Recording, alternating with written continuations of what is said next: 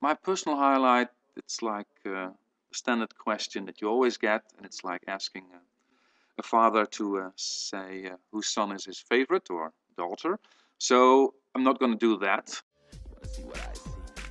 Okay, if you come to Impakt, you can expect to see the and hear the latest in media culture, new works by uh, young artists from all over the world, and a special program, Accelerated Living, that focuses on how we experience time and speed in a different way compared to the past or compared to uh, other cultures. It's a, a wonderful program.